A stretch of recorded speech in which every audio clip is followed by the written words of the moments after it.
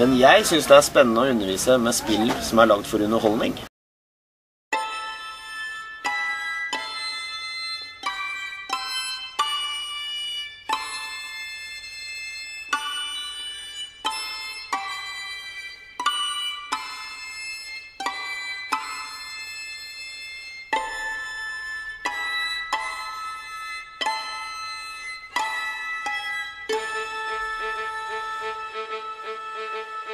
Música